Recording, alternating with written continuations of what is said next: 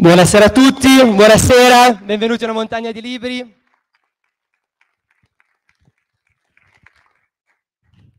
Grazie a tutti voi che siete così numerosi, quasi 400 persone in questa magnifica sala dell'Alexander Girardi Hall.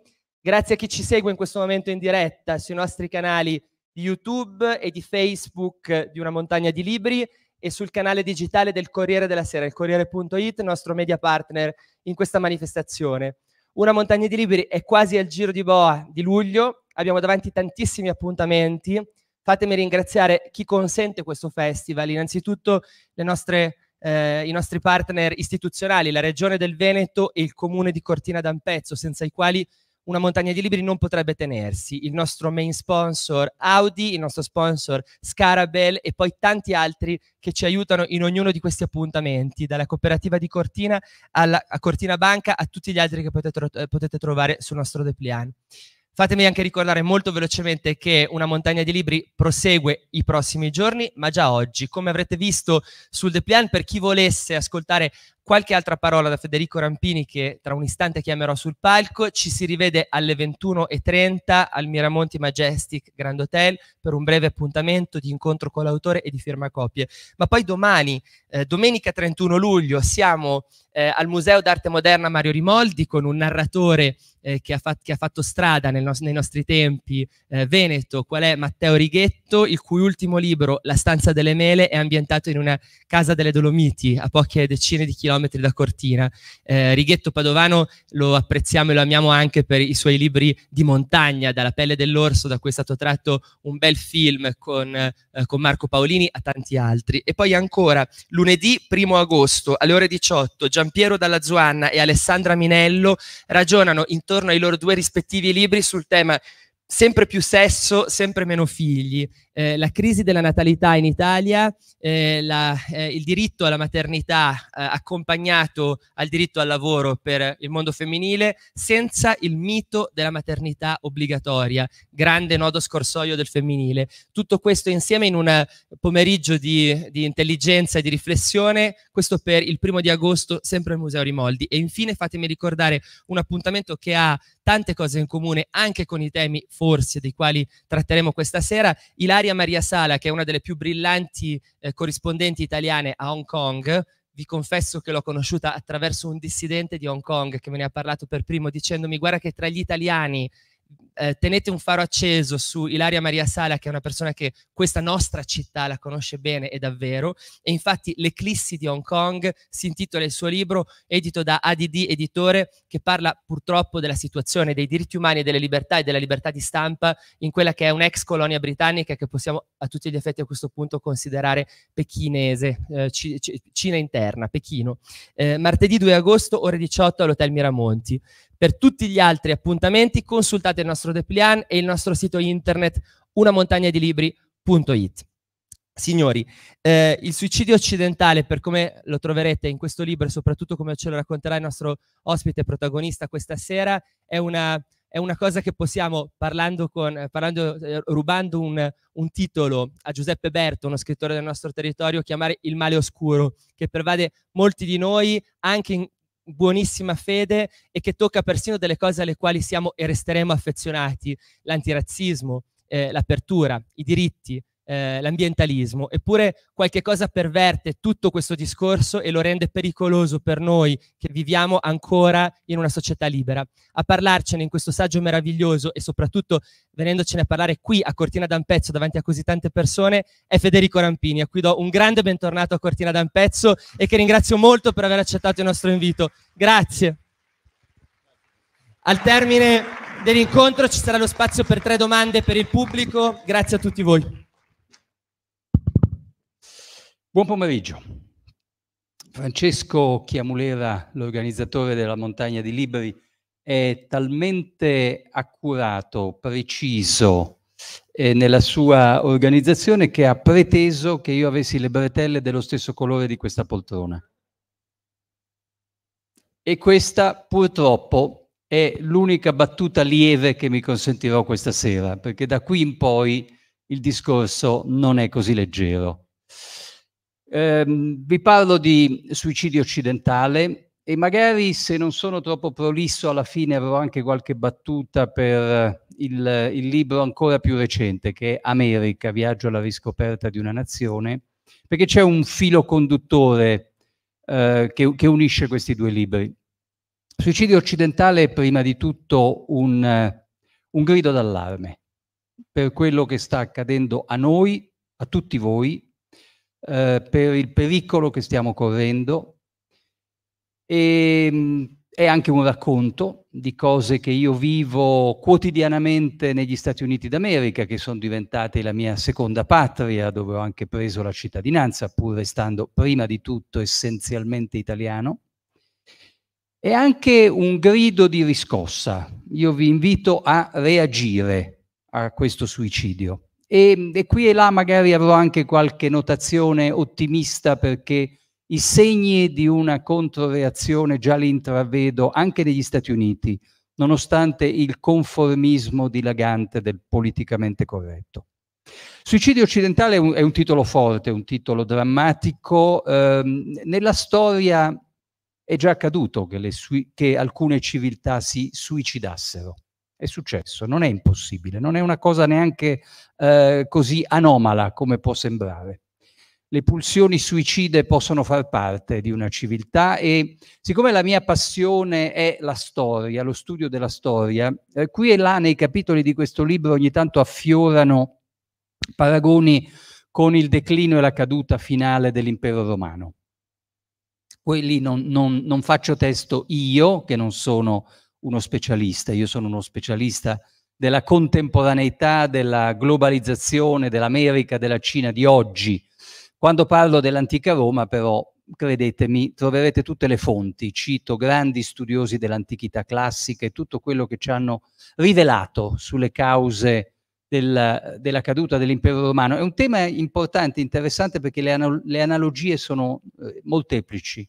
Eh, sapete che la, la caduta dell'impero romano viene studiata continuamente oggi nelle migliori università americane, perché tutti gli imperi hanno sempre guardato a quel predecessore e alla fine che ha fatto per cercare di capire le ragioni.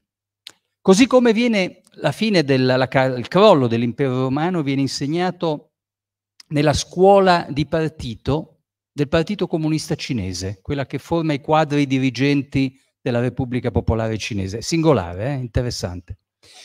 Mi soffermo per un attimo su questo tema perché vedete il, il, ehm, eh, il, il, sapere scientifico continua a evolversi perfino quando studiamo cose accadute quasi duemila anni fa e sulle cause della fine dell'impero romano sappiamo oggi con più precisione che c'entra anche, c'entrò anche un cambiamento climatico, c'entrarono delle pandemie, c'entrarono delle migrazioni mal controllate, mal governate, che a un certo punto diventarono, da, da migrazioni si trasformarono in invasioni e, e misero a repentaglio l'identità di Roma e dell'impero.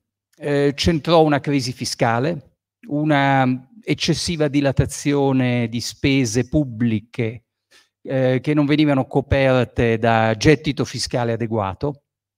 E tutto questo e tanto altro, e insieme a questo naturalmente un cambio di religione. E molti di questi, dalla caduta, dal declino dello spirito civico dei cittadini romani, fino al cambiamento di religione, al fatto che una nuova religione veniva imposta dall'alto, dall'alto, dalle, da, da, un establishment, da un imperatore convertito, le analogie con il presente sono impressionanti. Noi stiamo vivendo, tra le altre cose, uno degli ingredienti del suicidio occidentale è anche un cambio di religione, la, la fine della civiltà cristiana, l'arrivo di un, nuovi sistemi di valori che ribaltano sistematicamente tutte le regole e i valori precedenti. E in questo si infila anche, poi farò qualche accenno su questo tema, il neopaganesimo, che è una, un certo tipo di ambientalismo, è una religione, di adorazione della natura, non ha niente a che vedere con la scienza, niente, proprio non c'è nulla di scientifico, è una, una forma di eh, culto pagano. Ma eh, fatemi cominciare con qualcosa di molto concreto. Eh, quando parlo di suicidio occidentale, io, io parlo di, di, vita vissuta e, e, voglio cominciare con qualcosa che viviamo noi tutti italo-americani negli Stati Uniti d'America, nel giorno che è dedicato all'orgoglio degli italo-americani storicamente. È una festa che fu creata nel 1934 dal più progressista di tutti i presidenti d'America, Franklin Delano Roosevelt, colui che dovette combattere la grande depressione degli anni 30, che inventò il New Deal, colui che poi dovette anche combattere i nazi-fascismi. Ma voglio fermarmi un attimo su Roosevelt e i nazifascismi, perché siamo di nuovo in un contesto di scontro con dei totalitarismi molto aggressivi, molto potenti. Allora, pr prima di parlarvi della, della festa degli italoamericani in America, eh, voglio, voglio fare un'introduzione geopolitica al suicidio occidentale. C'entra anche la guerra in Ucraina, naturalmente c'entra, c'entra questa, c'entra la ritirata di un anno fa degli americani dall'Afghanistan, quello che potrebbe accadere se i cinesi invadono Taiwan e ci accorgeremo di quanto fosse preziosa e strategica quell'isola di 24 milioni di abitanti che produce l'80% dei semiconduttori più avanzati. Ehm, come siamo arrivati qua? Perché siamo arrivati così impreparati ad esempio all'invasione di Putin in Ucraina, che lui ci stava preannunciando in modo molto esplicito dal 2007. Fu un discorso che lui tenne uh, alla conferenza strategica di Monaco nell'anno 2007 in cui era già tutto chiaro quello che lui voleva fare.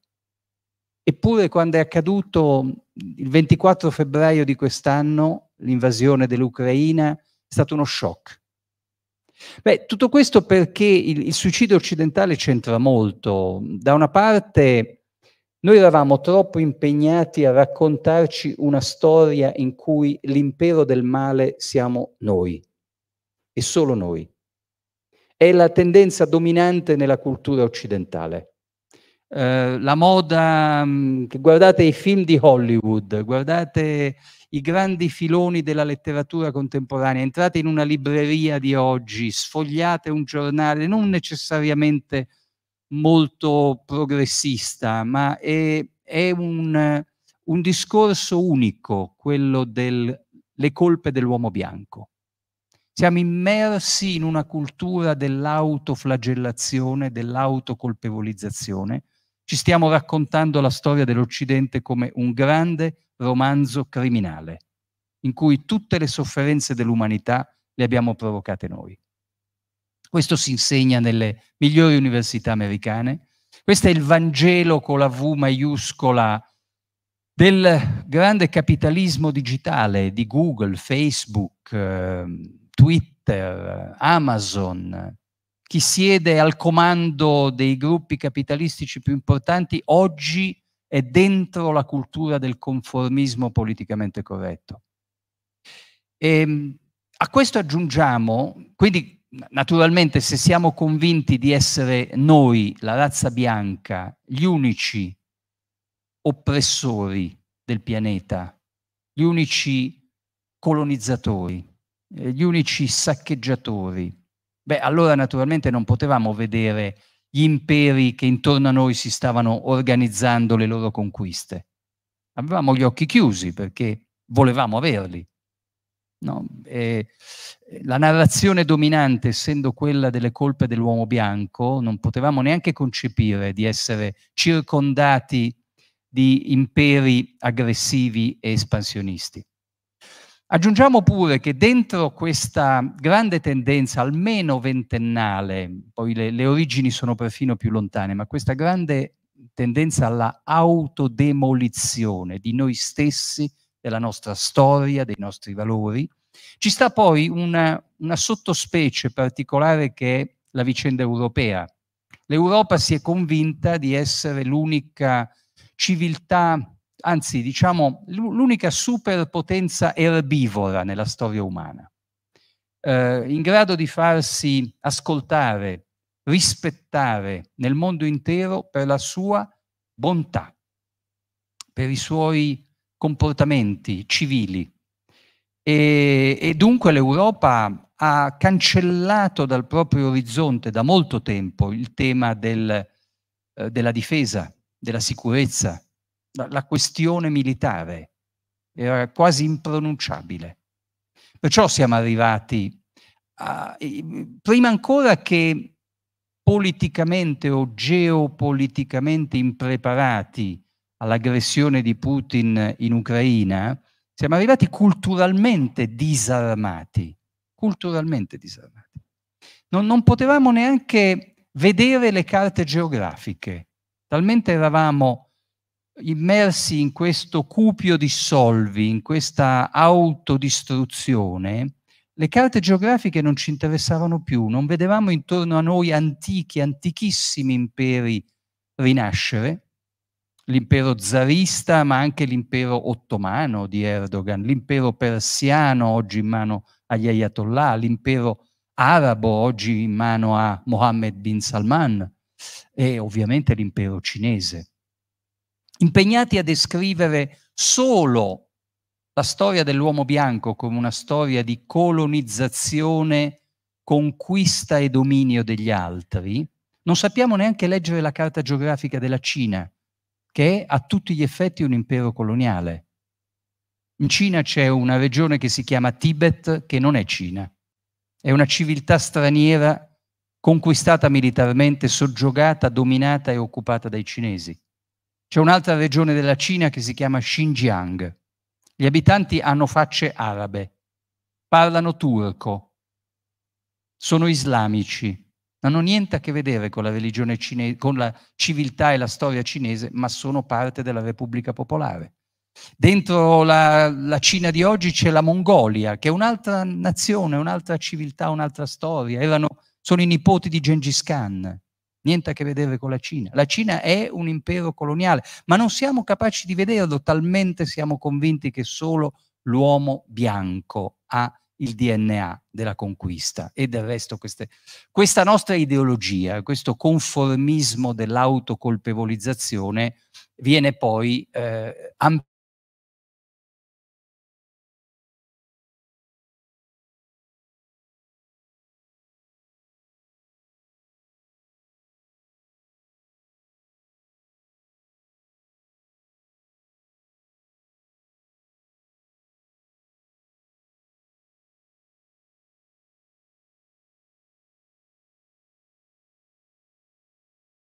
la mia vita vissuta da italo-americano in, in, in, una, in un giorno di ottobre che si chiama Columbus Day, che in realtà nei due terzi degli Stati Uniti d'America non esiste più, è stata già cancellata e si chiama la festa dell'orgoglio indigeno.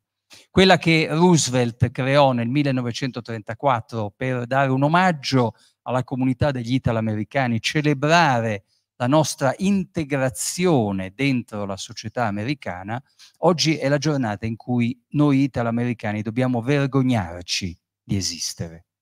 Quel giorno, nel, in quella parte degli Stati Uniti dove ancora si celebra un Columbus Day, come ad esempio a New York, dove io abito, eh, normalmente le statue di Cristoforo Colombo vengono assaltate, imbrattate con lo spray e le scritte sono del tipo, del tipo Cristoforo Colombo uguale Adolf Hitler, perché eh, il pianificatore dello sterminio della popolazione indigena, dei nativi dell'America.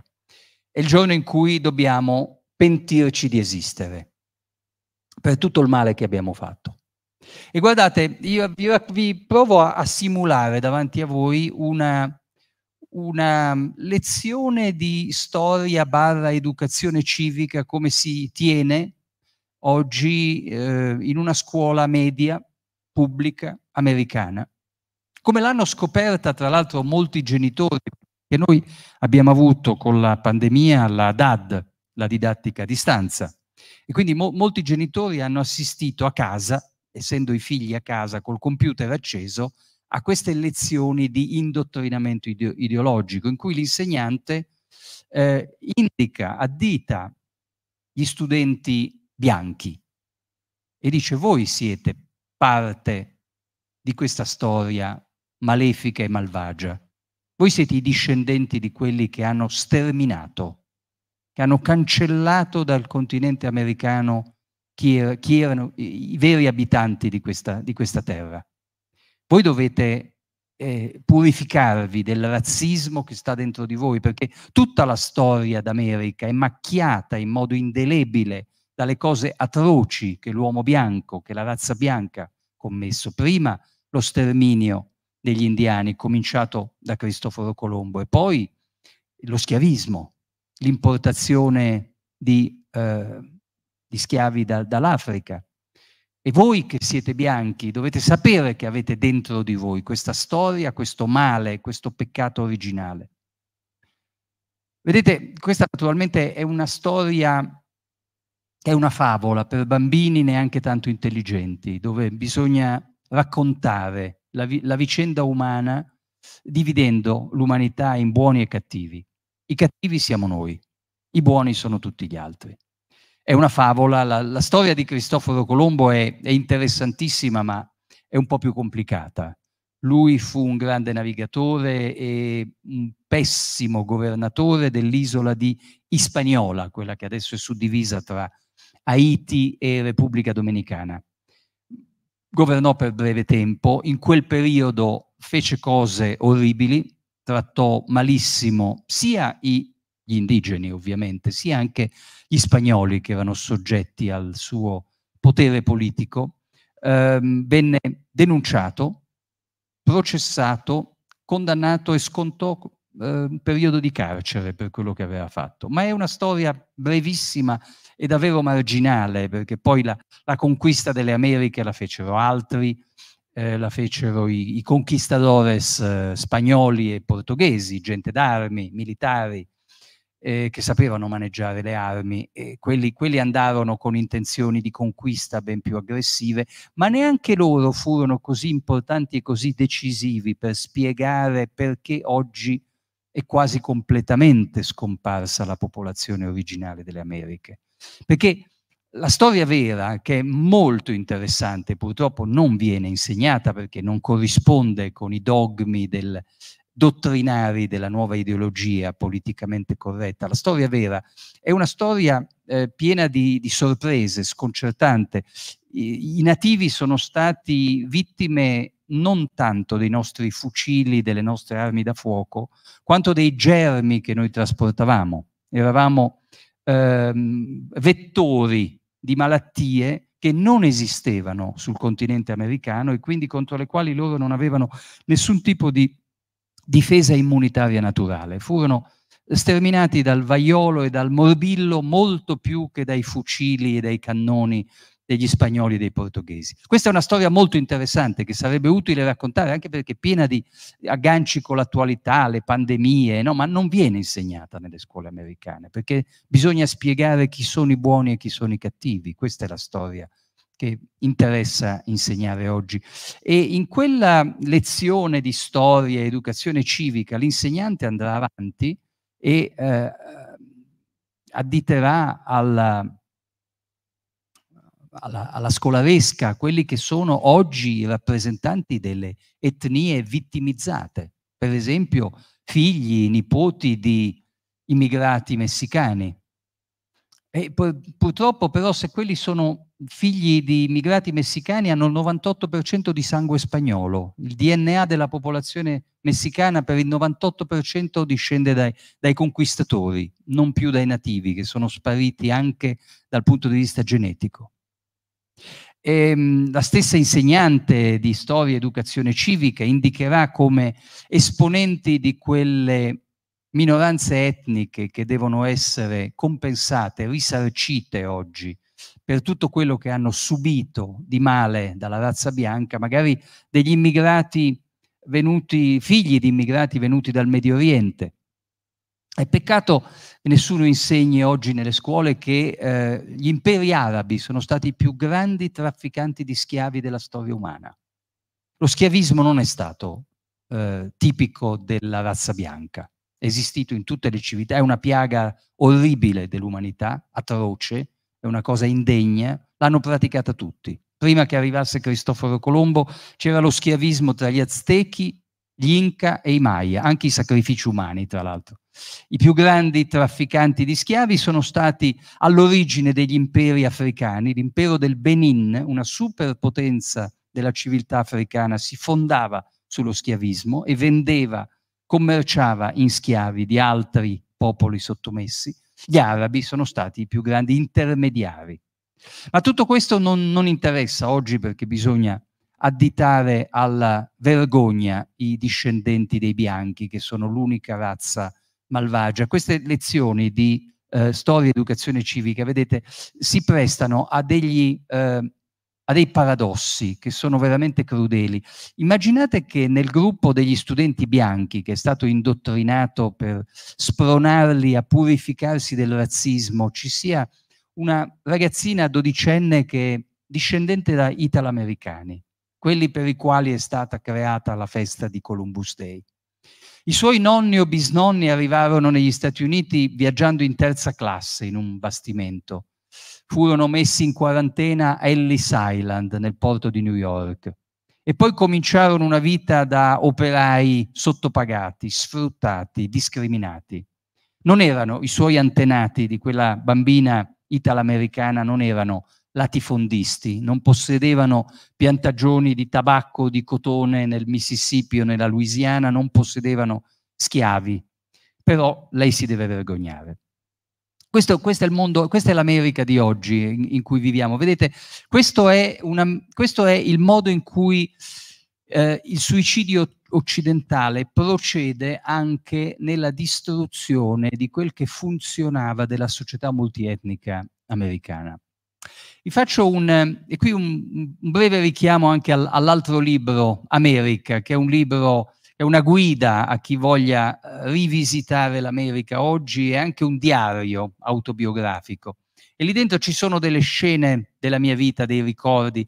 Ehm, il primo viaggio in America lo feci che avevo vent'anni, nel 79, fu un viaggio da, da clandestino comunista perché a vent'anni cominciai a fare il giornalista nella stampa del Partito Comunista Italiano quando era guidato da Enrico Berlinguer.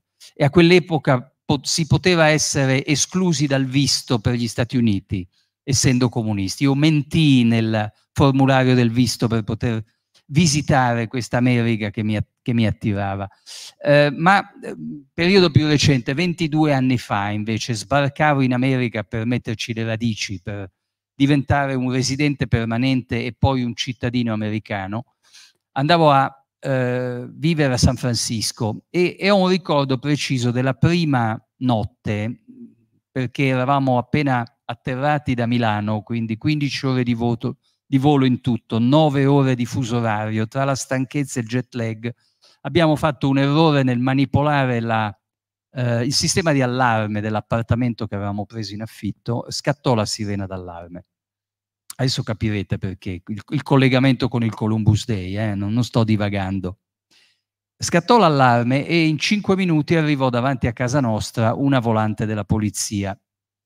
Prima impressione molto positiva, nel primo giorno di residenza ufficiale negli Stati Uniti, la polizia funzionava. Eh, a Milano ero abituato che poteva suonare tutta l'estate una sirena, una sirena antifurto, no? Non si, non si disturbava per, cos per così poco un poliziotto milanese. Ma soprattutto l'immagine che mi colpì fu quella della pattuglia di polizia che uscì da quella volante, perché era un, un quadretto della San Francisco multietnica. C'era un poliziotto che aveva i capelli rossi e gli occhi verdi, quindi chiaramente discendente di immigrati irlandesi. Un altro era chiaramente di origine ispanica messicana e un terzo cinese. E questo eh, mi è rimasto impresso e poi ho riflettuto a lungo su tutto quello che c'era dietro quel, quell'immagine. È diventata per me una metafora di tante cose che funzionavano nell'America di 22 anni fa. Prima di tutto, le forze dell'ordine multietniche, che è, un, è, un, è una, una, un messaggio forte di integrazione. Gli immigrati vengono integrati a tal punto che diventano poliziotti o, o magistrati e tante altre funzioni o diventano anche beh, Abbiamo una presidente della Camera, Nancy Pelosi, che è una italo-americana. Dietro questo poi c'era un'altra metafora perfino più importante, riflettendo bene su quello che significa avere delle forze dell'ordine così multietniche, è anche un messaggio molto preciso a chi arriva da fuori, agli immigrati nuovi. L'America è una nazione multietnica, è stata costruita da ondate di immigrazione, però chi entra deve rispettare la legge del paese deve rispettare le nostre regole, deve volersi integrare adottando i nostri valori. Così funziona una società multietnica. E se non rispetti i nostri valori, le nostre leggi, le nostre regole, ci sarà anche un membro della tua comunità etnica che te le fa rispettare. Ci sarà un poliziotto del tuo gruppo etnico, un magistrato del tuo gruppo etnico che ti disciplinerà perché così l'America ha funzionato per generazioni e generazioni. Vedete, questa era proprio la storia dei nostri immigrati che arrivavano già a metà dell'Ottocento, cominciarono le prime ondate di immigrazione italiana e poi via via tutto il Novecento. E una cosa tipica che contraddistingueva quelle, quelle storie di immigrazione era che appena arrivati i genitori proibivano ai figli di parlare l'italiano a casa, a cena o il dialetto, perché bisognava subito cominciare a imparare l'inglese per farsi accettare, per integrarsi. Questa, questa era l'America che ricordo 22 anni fa, non è l'America di oggi. Non è l'America di oggi. L'America di oggi è molto più eh, simbolica, una leader politica come Alexandria Ocasio-Cortez, è una deputata eletta nel mio collegio elettorale a New York, nel Partito Democratico, rappresenta la, la, frangia della sinistra estrema del Partito Democratico e della sinistra no border, niente frontiere. Alexandria Ocasio-Cortez ha proposto un referendum per abolire la polizia di frontiera sostiene che il concetto stesso di frontiera è ignobile, è immorale. Noi non abbiamo il diritto di decidere chi può entrare, tutti devono poter entrare e non solo, e non solo, ma devono poter entrare senza doveri, solo portatori di diritti, perché sono delle vittime, delle vittime dell'uomo bianco. Noi li abbiamo impoveriti, noi li abbiamo fatti soffrire, quindi hanno tutti i diritti e quando entrano, quando varcano la frontiera, devono tenersi stretti la propria lingua, la propria cultura, i propri valori, le proprie regole di vita. Non è vero che devono adottare le nostre. Questo, vedete, è il modo in cui si distrugge un modello multietnico che funzionava bene. Questa è parte del suicidio occidentale di, con l'autocolpevolizzazione andiamo a minare anche alcuni ingredienti di funzionamento di una società ordinata. E non sto parlando solo di quello che accade in America, questo vi riguarda da vicino. Che vedete, quando, quando faccio nel, nel mio libro i paragoni Stati Uniti e Europa, intanto è una regola implacabile che quel che accade in America prima o poi vi contagia. Non siete mai al riparo essendo l'America il centro dell'impero e voi la periferia, prima o poi le cose vi arrivano. E, e faccio dei, degli esempi precisi. L'equivalente che avete voi di Alexandria Ocasio-Cortez lo trovo dal punto di vista ideologico in Carola Rackete. Forse vi ricordate chi era? Capitana coraggiosa di Sea-Watch. Giustamente ammirata per degli atti di eroismo, di altruismo, salvare dei migranti che rischiano di morire annegati nel Mediterraneo è un'azione umanitaria sacrosanta e ammirevole. Poi però bisogna anche ascoltarla quando parla, Carola Rackete, perché dice le stesse cose che da noi in America dice Alexandria Ocasio-Cortez. Essendo Carola Rackete tedesca, dice la Germania mi fa schifo, la Germania è un paese immondo, la Germania è un paese portatore di peccati orribili che deve espiare. Non abbiamo nulla da insegnare a chi viene da fuori, abbiamo solo delle colpe da cancellare. Siamo nella stessa lunghezza d'onda. Questa è la mia definizione di suicidio occidentale. Poi ci sono tanti altri mondi in cui stanno accadendo cose simili. Eh, faccio un, una parentesi sul fatto che eh, questo suicidio ha delle radici antiche, no, non è da ieri che abbiamo cominciato a eh, dubitare di noi stessi, c'è sempre stata una corrente autocritica dell'Occidente, guardate, uno dei grandi classici del pensiero in questo senso è eh, il, il, il, tramonto dell'Occidente di Oswald Spengler, che è un libro che ha, cent'anni, eh, quindi eh, è, è da tempo che meditiamo sulla nostra fine, sul perché dobbiamo scomparire dalla Terra. E questo fa parte anche delle nostre qualità. Io, io credo che una delle bellezze della cultura occidentale è la continua rimessa in discussione di noi stessi. Questo è un, è un, è un dono che non dobbiamo disprezzare, tutt'altro. Diverso però è quando diventa distruzione sistematica e diventa un modo per offrire dei varchi di conquista a quelli che ci vogliono distruggere. E qui quando è che è cominciato quest'ultima fase, che è, vero e proprio suicidio occidentale? Vedete, alcuni, alcune correnti anti-occidentali erano chiarissime negli anni 60, negli anni 70.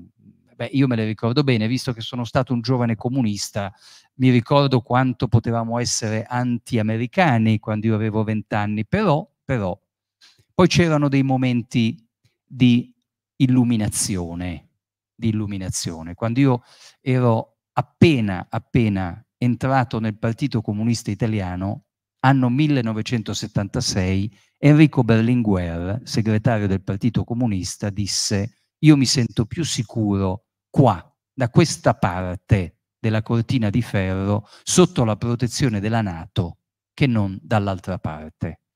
E fu un'intervista clamorosa quella dichiarazione, la fece in, una, in un'intervista a Giampaolo Pansa sul Corriere della Sera nel 76.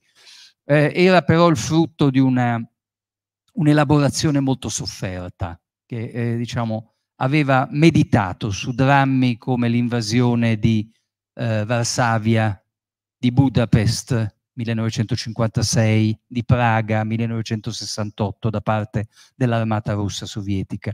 Ma questo, eh, fatto questo excursus nel passato per dire che abbiamo sempre avuto in mezzo a noi un, un forte pensiero antioccidentale, che però di solito era un pensiero di opposizione, era controcultura, era cultura alternativa, erano i giovani che in, nel cuore dell'impero, nell'America stessa, bruciavano in piazza la bandiera stelle e strisce.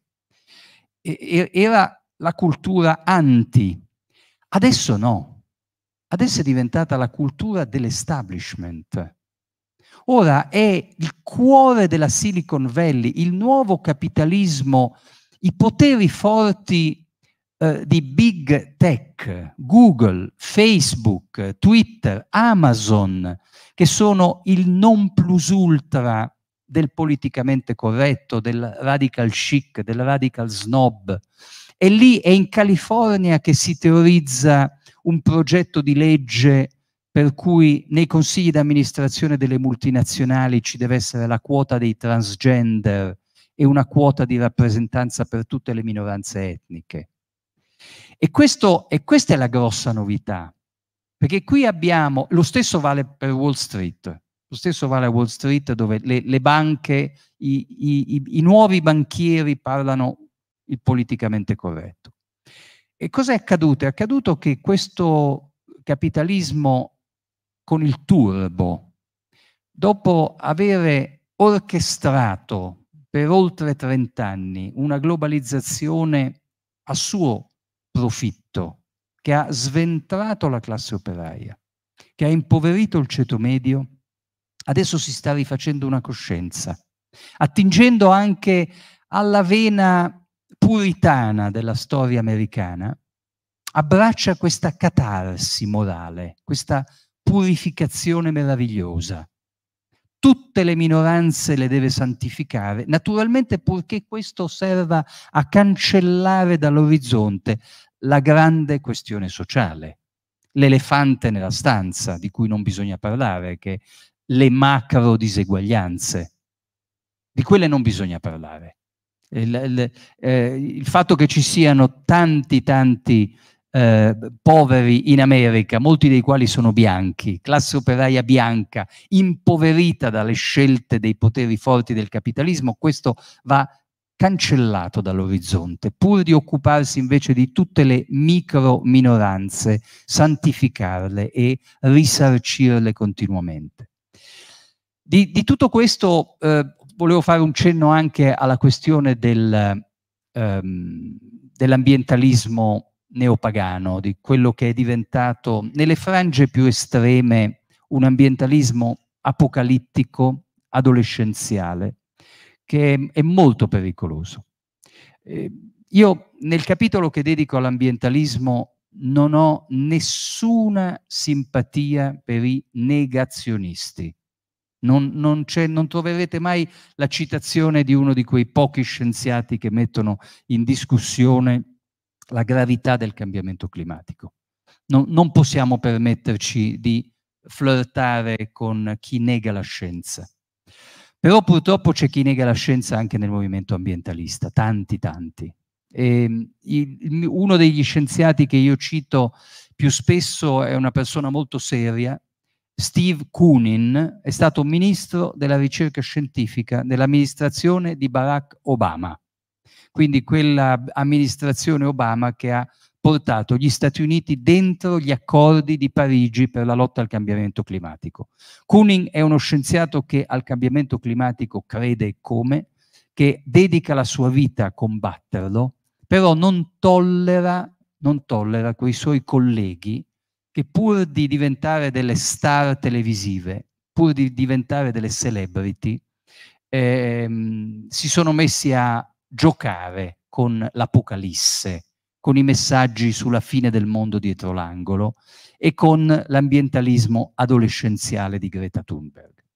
Greta Thunberg, avendo 18 anni, ha perfettamente ragione a fare quello che fa. Siamo tutti stati rivoluzionari e utopisti, è, è quello che deve fare un adolescente. Eh, quello che io non tollero sono gli adulti che rinunciano al proprio ruolo, alle proprie responsabilità e si genuflettono davanti a questa Giovanna d'Arco, a questa sacerdotessa neopagana, la quale tra l'altro, tra parentesi, ha smesso di studiare per girare il mondo a predicare il verbo con la V maiuscola. Cos'è che mi spaventa di, del, dell'ambientalismo apocalittico adolescenziale? Gli errori che ci ha fatto commettere. Eh, ricordiamoci ad esempio che un anno fa la vera crisi energetica è cominciata molto prima che Putin invadesse l'Ucraina. È cominciata quando, per aver creduto a degli slogan affascinanti quanto fuorvianti sul passaggio immediato alle energie rinnovabili, al tutto rinnovabili, ehm, paesi come l'Inghilterra e la Danimarca, i due più grandi produttori di energia eolica, in un'estate del 2021 in cui il vento non ha, non ha soffiato abbastanza nel mare del nord, si sono trovati sull'orlo della catastrofe. Hanno dovuto improvvisamente comprare nel panico quantitativi enormi di gas naturale e hanno fatto impazzire i prezzi del gas naturale, molti mesi prima che Putin invadesse l'Ucraina e che scattassero le sanzioni economiche. Eh, gli stessi sotto l'ombrello dell'ambientalismo, dove si nasconde di tutto e di più, eh, in Italia come negli Stati Uniti sono con, continuamente stati bloccati progetti di investimento nelle rinnovabili centrali di energia solare, centrali di energia eolica che non vanno bene perché qui sono troppo vicine a casa mia, lì sono troppo vicine alla mia spiaggia, là sono troppo vicine alla mia villeggiatura, eh, deturpano il paesaggio. Eh, la quantità di progetti di energie pulite rinnovabili che sono bloccati con il pretesto di un ambientalismo che in realtà è diventato una specie di passepartout sotto cui si nascondono gli egoismi e i localismi è una, è una scia costante, guardate, posso recitare a memoria decine e decine di casi. Eh, concludo con un esempio che mi è particolarmente a cuore perché è straziante, perché qui c'entra il messaggio dell'ambientalismo rivolto ai paesi poveri e il tema della giustizia sociale. Eh, lo Sri Lanka in questo momento è alla fame. Quest'isola a sud dell'India, con 22 milioni di abitanti, è in una situazione terrificante perché due anni fa il suo governo ha ascoltato consigli scellerati di ambientalisti occidentali che suggerivano di tra trasformare tutta l'agricoltura dello Sri Lanka in agricoltura biologica. Sono crollati i raccolti, non c'è da mangiare nello Sri Lanka, non c'è da mangiare. Ehm, le rivolte sono state talmente violente che hanno costretto alla fuga il presidente e il primo ministro, ma le colpe hanno origine altrove. Queste, queste sono le, le pecche di un ambientalismo irresponsabile. Concludo con un altro, un altro, dei messaggi che troppo spesso vengono da, dagli adolescenti che sono diventati i nuovi guru dell'ambientalismo, è la demonizzazione dello sviluppo economico. Lo sviluppo economico visto come il male assoluto, quello che distrugge il pianeta. In realtà noi abbiamo bisogno di, sviluppo, di più sviluppo economico la, l'automobile elettrica, il gioiello tecnologico più avanzato dell'auto elettrica, noi abbiamo un gran bisogno di convertirci più rapidamente all'auto elettrica per ridurre le emissioni di CO2 e combattere il cambiamento climatico, il gioiello assoluto è nato in California, la Tesla, non in Nicaragua. Perché per combattere il cambiamento climatico ci vuole innovazione tecnologica, ci vuole investimento, ci vogliono capitali. Um, finisco ricordando che il, il tema del mm, suicidio occidentale in qualche modo si ricongiunge col libro America, che è un libro in parte più leggero, è anche una guida, una guida turistica se volete.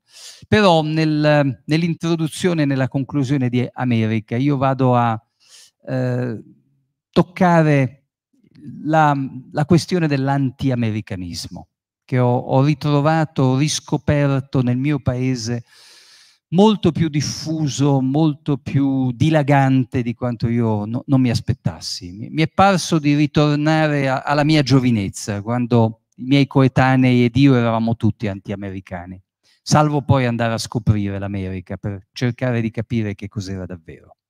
Ecco, in questo libro America io non, non, faccio una difesa degli Stati Uniti, intanto perché non, non, non ne hanno bisogno, una, una superpotenza di solito si, si, dovrebbe difendere da sola.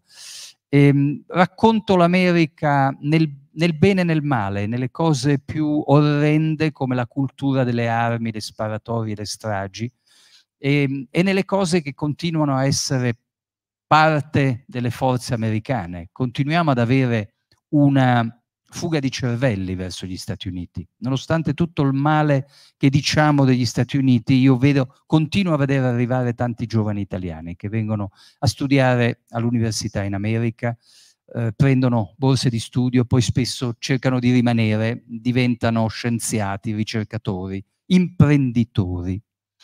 Ecco, una delle, una delle marce in più che l'America continua ad avere è è, con, è minacciata all'interno dell'America stessa, questo è uno dei temi del suicidio occidentale, dal peso della burocrazia. Ne abbiamo anche noi troppa, più di quanto crediate. La burocrazia è nota agli italiani come uno dei mali del bel paese, è, è un elemento oppressivo, eh, rende più difficile fare impresa, creare lavoro, creare ricchezza in Italia però anche in America dove si è eh, radicata un'ideologia statalista e purtroppo le, le, due Americhe dove ho vissuto io, la California e New York, sono degli esempi in questo senso. Anche lì abbiamo una burocrazia eccessiva e per questo io racconto un'America alternativa, che è un'America verso la quale si stanno dirigendo delle migrazioni interne. Abbiamo una fuga di popolazione da New York e dalla California gli stati dove domina la sinistra politicamente corretta, verso la Florida e il Texas, governati dai repubblicani dove sono, si pagano molte meno tasse, c'è molta meno burocrazia, c'è più libertà di impresa. E, mh, mm, è strano a dirsi, eh, perché di solito non godono di buona stampa e sono anche gli stati che hanno le normative più restrittive contro il diritto dell'aborto. Sono gli stati che hanno una cultura delle armi, è piena di contraddizioni, è un, è un, un grumo di contraddizioni la mia America. Intanto io di solito parlo al plurale, parlo di Americhe, talmente sono diverse, New York, la California, il Texas, la Florida, non parliamo dell'America, del Wyoming o dell'Idaho o del eh, Kentucky, eh, del Colorado, quelle zone che ho girato più a cavallo che in macchina.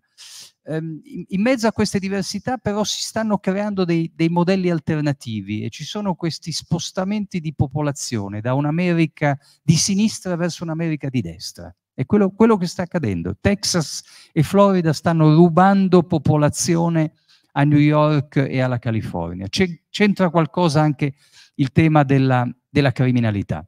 E, ehm, e, su questo voglio finire con una, un episodio. Eh, e sono tornato a parlare del suicidio occidentale. Forse lo, è l'episodio più doloroso in assoluto che racconto nel libro. E di nuovo concludo parlando di noi italiani, parlando di un italiano che è morto a poche centinaia di metri da casa mia. Si chiamava Davide Giri, era un ricercatore piemontese, veniva dal Politecnico di Torino, aveva una borsa di studio alla Columbia University di New York ed è stato assassinato brutalmente nel cuore di, Ma di Manhattan.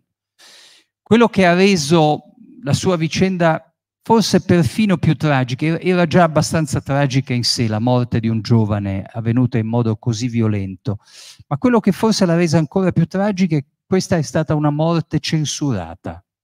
Il più grande giornale della città, che è anche il più grande giornale d'America e forse il giornale più famoso nel mondo, il New York Times, l'ha nascosta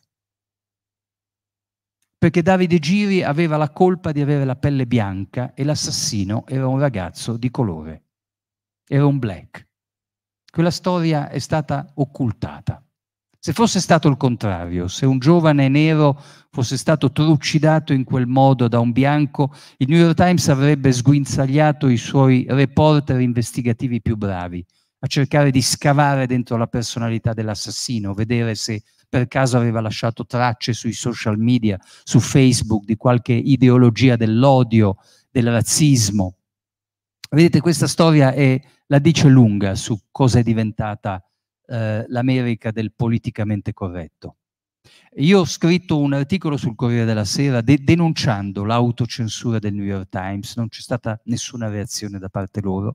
Poi il mio articolo è stato ripreso da molti altri, in particolare dai giornali tedeschi, dalla Frankfurter Allgemeine Zeitung, dalla Süddeutsche Zeitung, mi hanno intervistato e i giornalisti tedeschi a loro volta hanno chiamato il New York Times per avere spiegazioni, silenzio totale. Ehm, questo perché, tra l'altro, l'assassino era un personaggio piuttosto ingombrante, imbarazzante, non era un ragazzo nero qualunque, era membro di una gang pericolosissima eh, che si finanzia con il narcotraffico. Lui stesso era stato più volte arrestato per crimini violenti e sempre, sempre rilasciato. Perché a New York c'è una procura, tra virgolette, progressista che sostiene che eh, le, i criminali, se hanno la pelle di colore, sono sostanzialmente delle vittime di un sistema ingiusto. E il New York Times è a favore di questa politica. Il New York Times attivamente sostiene e appoggia questa procura progressista e le scarcerazioni facili quando i criminali appartengono a minoranze etniche. Eh, tutto questo ci riconduce a quella terribile storia che è stata eh, l'assassinio di George Floyd. Eh, ce lo ricordiamo. per forza, ce lo dobbiamo ricordare, l'assassinio di George Floyd. È stato uno degli episodi di razzismo più osceno nella storia americana. Il razzismo esiste come? È una piaga degli Stati Uniti, ce la portiamo dietro da, dai tempi dello schiavismo e della guerra di secessione. Un agente bianco, Derek Chauvin, ha strangolato letteralmente quel eh, giovane nero, George Floyd, in otto minuti di tortura, ripresi dal videotelefonino di una testimone e l'America intera, il mondo intero si sono indignati per quell'orrore. Quello che è successo dopo però purtroppo è stata una storia in cui le legittime, sacrosante proteste contro il razzismo sono state dirottate, sequestrate da una minoranza estremista che ha dato via libera al mondo delle gang, che si sono riprese intere città d'America con il pretesto dell'antirazzismo. Noi ricordiamo bene le scene di saccheggio della quinta strada di New York, quando sono scesi i SUV neri dal Bronx.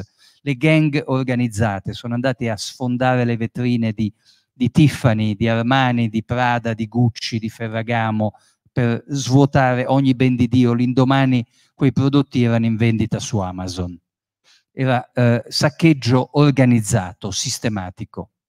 Ma il peggio è accaduto non sulla quinta strada, poi dopo tutto i bilanci di Tiffany, di Armani, di Ferragamo, di Pradi, di Louis Vuitton possono anche assorbire delle rapine a mano armata. Il peggio è accaduto nei quartieri più poveri, perché la violenza che dilaga colpisce prima di tutto il commerciante afroamericano all'angolo della strada, dove dominano le gang.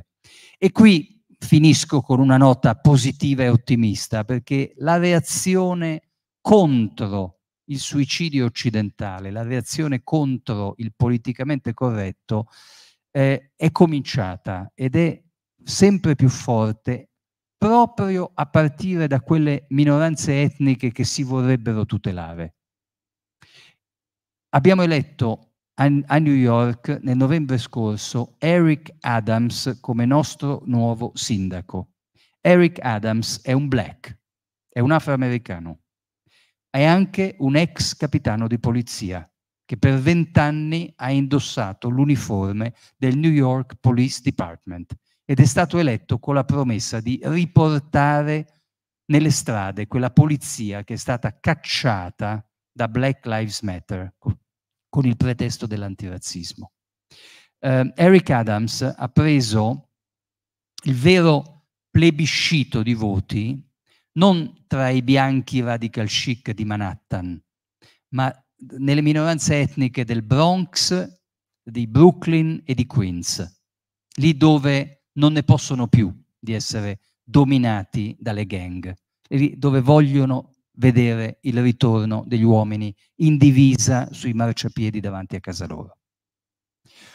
Grazie per l'attenzione. Alle vostre domande.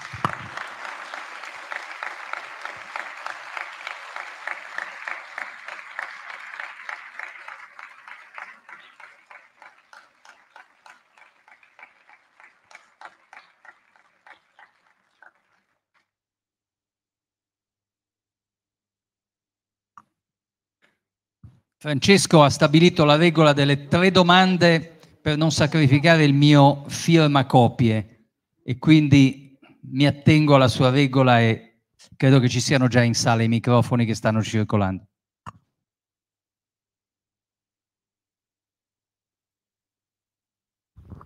Eh, la ringrazio per la sua lucidissima analisi. Due brevissime domande. Chi ha formato quegli insegnanti che lei dice sostengono appunto l'ideologia dell'autocolpevolizzazione assoluta? Cioè, qual è, non c'è concorrenza ideale di pensiero all'interno delle università americane, non ci sono argomenti eh, capaci di frenare questa forma di misticismo, di neoreligione? Questa è la prima domanda. La seconda domanda è, si rifà al suo riferimento che noi siamo la periferia dell'impero e che prima o poi, anzi dovremmo fare i conti con, questa, con queste forme. Non teme, questa è la mia domanda, è un po' provocatoria, come è successo in certi salotti televisivi in cui lei ha, ha detto le stesse cose? Cioè la domanda è, siamo al prima o al poi di questo arrivo di questa ideologia, neoideologia americana? La contestazione di, un impor- di una importante giornalista che in televisione ha uno scatto di insofferenza col suo eh, eh radic- eh, radical chic, non è forse già l'indizio che ci siamo con i piedi e con le scarpe dentro?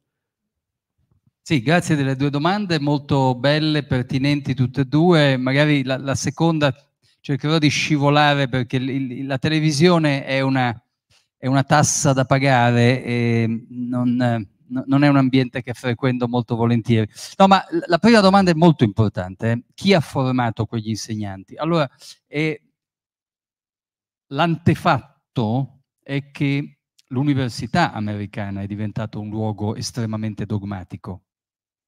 L'università americana, a cominciare proprio dalle università più di elite, Harvard, dove si pagano 70.000 euro l'anno di retta, dove vanno a studiare i figli dei ricchi, è uno dei luoghi del massimo conformismo ideologico e dogmatico Ehm, è, una storia, è, una storia, antica eh, che va, va, ricostruita in tutte le sue diramazioni. Se dovessi cavarmela con una battuta direi provate a immaginare un mondo dove Tony Negri, il nostro Tony Negri, nostro, eh, nostro connazionale Tony Negri, eh, sia, sia, rimasto a, a formare generazione dopo generazione di studenti, i quali poi ne hanno formati altri, no? in un mondo molto auto, autoreferenziale come l'università, perché guardate che è una storia che viene da lontano. Eh? Già ne, negli anni Ottanta si cominciava in America a smantellare gran parte dell'insegnamento classico perché Platone e Aristotele sono maschi bianchi e quindi bisogna smetterla di insegnare il pensiero di maschi bianchi e sostituirlo con la cultura etnica. Quindi è una, è, diciamo, il, il mondo universitario ha partorito eh, e formato generazioni e generazioni. Poi lo scatto, il vero salto è avvenuto quando una parte di queste nuove generazioni, così formate da Tony Negri, tanto per... Guardate, non, non, dico, non uso il nome di Tony Negri per caso, eh, perché a un certo momento lui in America è diventato una pop star, una pop star, Tony Negri, nei, in certi ambienti universitari americani. Eh, per, per, non lo, perché magari ci sono anche dei giovani in sala, non tutti sono tenuti a sapere chi fosse Tony Negri, ma è stato uno dei cattivi maestri degli anni di piombo italiani, uno che dal, dal, dall'alto e dalla sicurezza di una cattedra universitaria formava gente che poi andava a sparare e ammazzare. Eh, terrorismo, anni, i, nostri, i, nostri, anni più bui.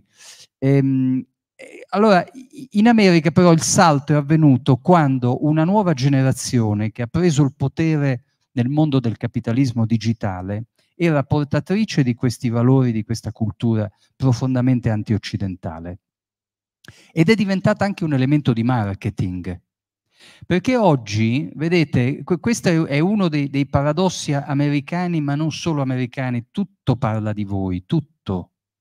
Um, io di recente al, al, mio atterraggio da New York a, a Malpensa sono rapidamente andato a un'assemblea della Confindustria di Vicenza, una delle zone più industrializzate d'Italia, e lì mi sono sentito raccontare una storia che è identica alla Silicon Valley, cioè i giovani non vogliono più lavorare nell'industria perché l'industria è sporca. I giovani vogliono andare nel digitale perché il digitale salverà il pianeta. Questa è una, un, una, una trovata di marketing geniale perché in questo modo Google, Facebook, Twitter, Amazon, Microsoft hanno, hanno un vantaggio su tutti, tu, su tutti gli altri. reclutare i, i, i migliori che escono dall'università è, è, dove si gioca oggi la competizione. Quindi ehm, è, è, lì che si è creato il salto da Tony Negri, la generazione che lui aveva formato, fino al eh, fatto che quello è diventato il pensiero unico dominante. E le università americane oggi sono luoghi di intolleranza, dove pensate che perfino un, un romanzo classico dell'antirazzismo, che è Il buio oltre la siepe, un capolavoro, no? E, ehm, in alcune università il politicamente corretto lo censura, perché non va bene, il buio oltre la siepe, c'è un eroe bianco, l'avvocato bianco che prende le difese di un, di un giovane nero imputato ingiustamente, in, ingiustamente processato, no? E no, eh, questo non va perché questo significa che i bianchi possono anche avere un ruolo positivo nelle vicende dei neri, quindi c'è, una battaglia per, per, cancellare il buio oltre la siepe. Comunque mh, concludo sulla sua domanda sulla eh, televisione, sull'Italia, ma certo che l'Italia c'è già, tutta l'Europa è già dentro questo, questa tendenza. Guardate che da, la, quello che è accaduto alla Rowling, l'autrice di Harry Potter, Qui parliamo dell'Inghilterra, non dell'America. Eh, lei è una femminista storica. Siccome ha osato dire che secondo lei esiste un'identità biologica della donna, è accusata di transfobia e c'è una campagna selvaggia sui social media contro di lei, di una violenza inaudita. E questo, questo accade in Europa.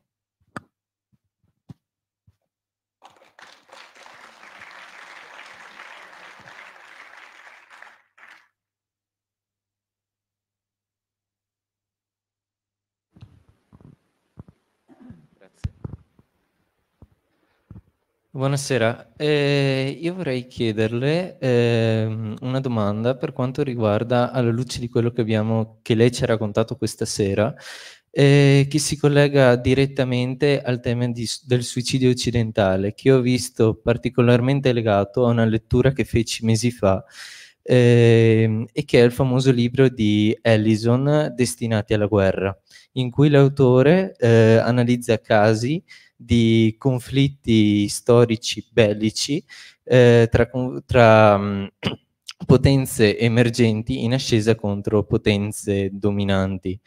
E quello che vorrei chiederle è che visto che nella fine del, del libro lo stesso Ellison concentra la propria attenzione sul ruolo della Cina come, come potenza in ascesa e il ruolo degli Stati Uniti che come abbiamo detto questa sera appare sempre più debole, e, ehm, la domanda che ci lascia sospeso Ellison è potrà avvenire un conflitto storico bellico tra la Cina e gli Stati Uniti? Ellison uh, dice che ci sono tutte le condizioni per rendere inevitabile la guerra, ma anche allo stesso tempo per renderla evitabile, perché su 16 conflitti successi in, nell'arco di 500 anni, 12 hanno visto un conflitto bellico. La domanda che vorrei farle, pertanto, è se secondo lei si arriverà ad uno scontro bellico eh, tra Cina e Stati Uniti, dal momento che il libro si fa riferimento, è stato fatto nel 2019 e che quindi non ha tenuto in considerazione degli avvenimenti che sono venuti successivamente, come la recente guerra russo-ucraina in cui la Russia è stata spalle, eh, spalleggiata proprio dalla Cina, come lei scrive nel libro. Grazie. Dunque, no, il, il mio libro è Il suicidio occidentale è del 2022, è uscito che la guerra in Ucraina era già cominciata. Quello di Ellison è precedente, certo.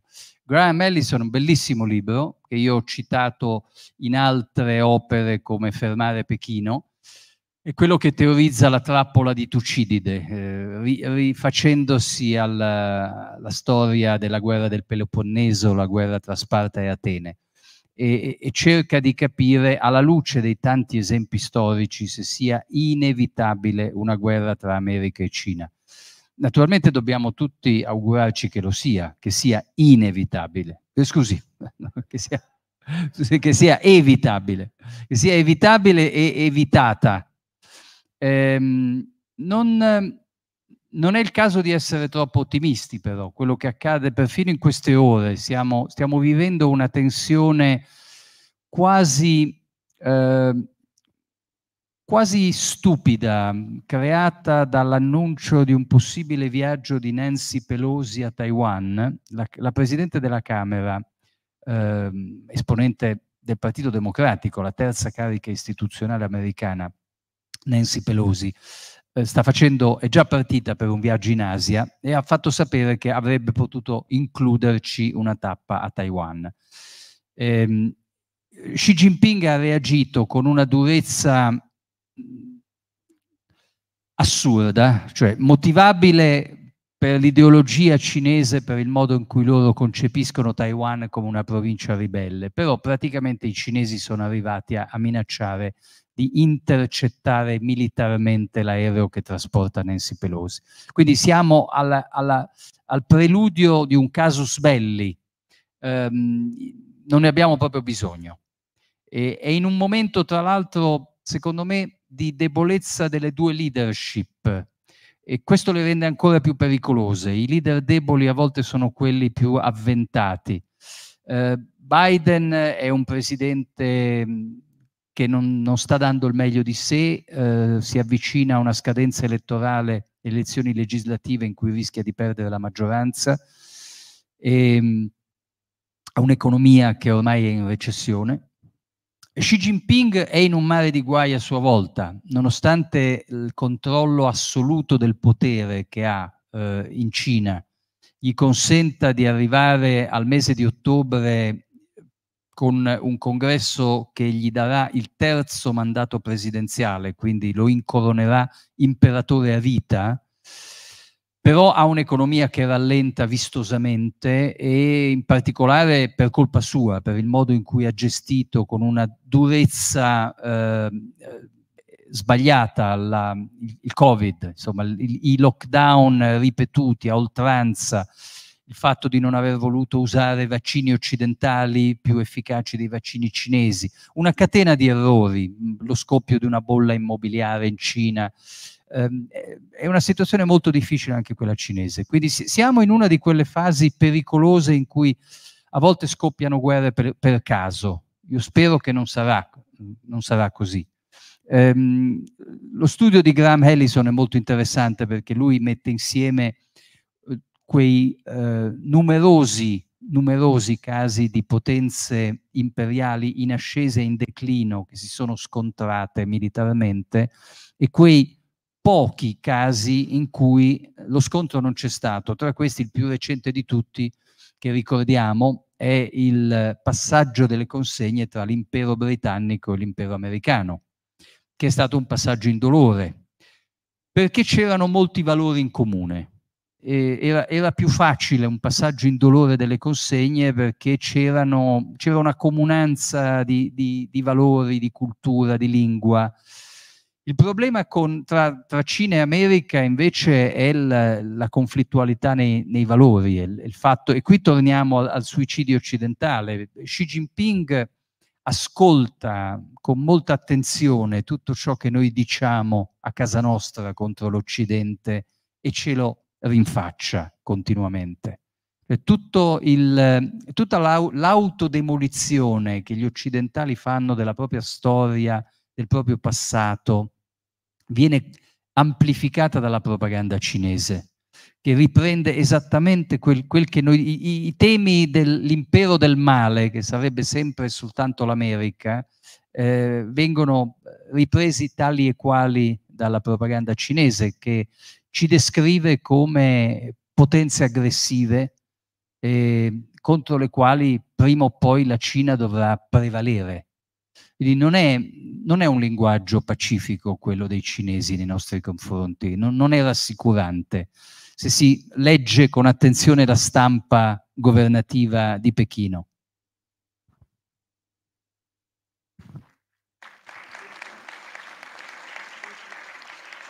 E, e l'ultima domanda, sempre per la regola che il firma copie deve avvenire, giustamente.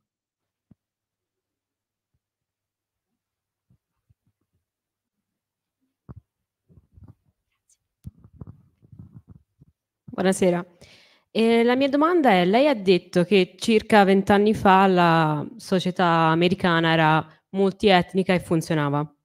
Però poi ha detto anche giustamente che comunque c'è una forte componente di razzismo in America e c'è anche nelle istituzioni e negli organi tipo la polizia, eccetera. No?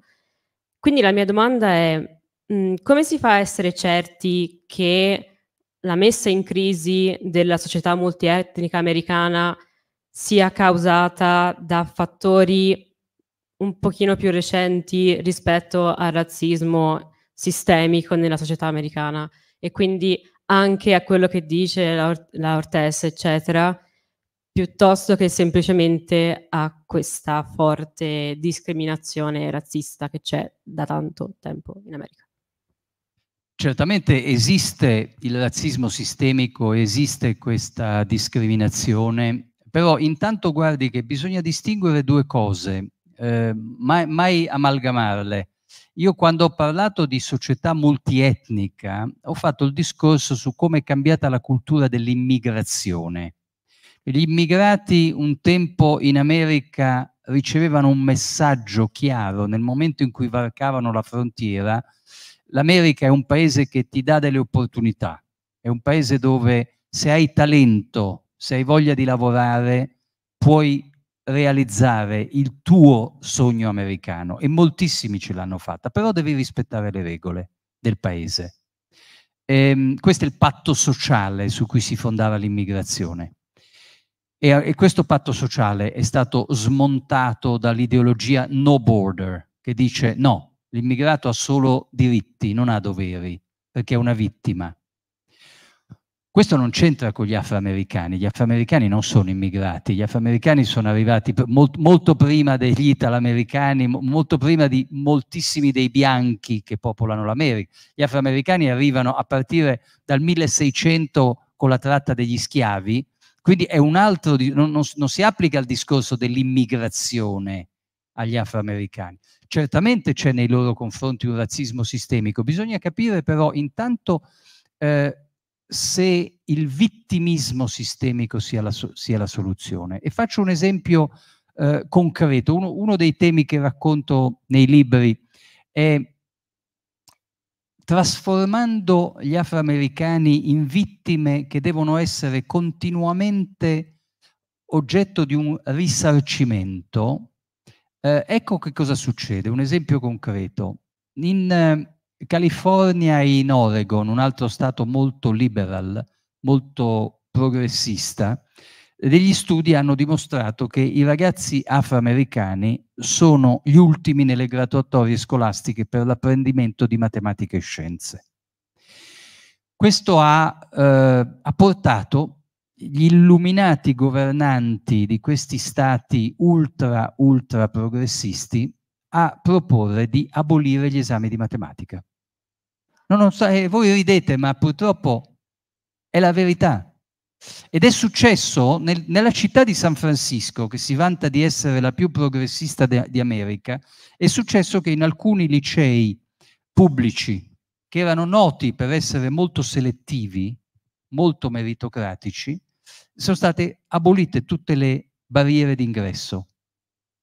Questo con l'idea che eh, eh, i, ragazzi afroamericani, siccome sono vittime, vanno continuamente risarciti e quindi bisogna regalargli la promozione. Questo però ha scatenato una, una controreazione che è molto interessante, è stata la controreazione dei cinesi. La proposta della città de, del, dell'equivalente del provveditorato agli studi della città di San Francisco di abolire qualunque esame d'ingresso per quei licei pubblici selettivi ha scatenato una vera e propria rivolta delle cosiddette mamme tigri cinesi, che sono una potenza. E noi abbiamo la, a San Francisco la, la più antica Chinatown d'America, nata nel 1848. La comunità cinese è fortissima. La comunità cinese ha avuto il suo schiavismo. Lo schiavismo non l'hanno sofferto solo i neri. C'era il cosiddetto indentured labor, o anche i coolies cinesi venivano in stato di schiavitù, hanno costruito le ferrovie tra le due coste d'America. Però i cinesi, con la cultura conf- confuciana, hanno un, un'etica del lavoro, dello studio, del sacrificio che fa sì che oggi sono i più bravi in matematica. Sono quelli che vincono tutte le graduatorie, primi in tutte le classifiche. e la minoranza degli asio, asia-americani, Asian American, addirittura un reddito, un reddito medio superiore ai bianchi. E quindi loro ci credono al, allo studio matto e disperatissimo, allo spirito di sacrificio, al rispetto degli insegnanti, al, eh, un, una, eh, un'etica della, della, disciplina, della selezione meritocratica. E, e si è creata una, una, guerra tra minoranze, cioè eh, l'assurdità dell'ideologia politicamente corretta che pensava di risarcire i ragazzi neri regalando a tutti la promozione, regalando a tutti la cancellazione degli esami di matematica, è stata messa, eh, è stata sbugiardata da questa rivolta dei cinesi che alla, alla fine hanno vinto loro, alla fine hanno ottenuto il, il ripristino della selettività all'ingresso come premio al merito, come metodo per anche incentivare un'etica del lavoro, del sacrificio, dello studio, che è quella con cui le minoranze originariamente sfavorite possono riuscire ad affrancarsi.